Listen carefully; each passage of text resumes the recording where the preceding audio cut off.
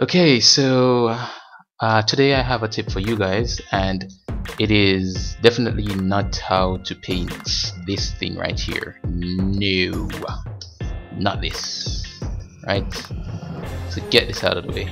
So uh, the tip is how how we can change this dark team into another team, right? And to go about doing this, we go to edit and edit preferences right? And then we go to view. And then right here where, where it says dark theme variant. If available in GTK3 theme needs restart. So if I should untick this right here and click OK then restart like so. Click X and restart. Discard and wait a while. It is coming.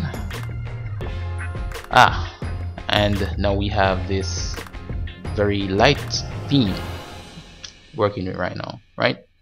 And uh, I actually like I actually prefer this theme over the darker theme right? Uh, so I think I'll work with this one. And that is pretty much how you change from the dark theme into the lighter theme Yay! Anyway, that's it.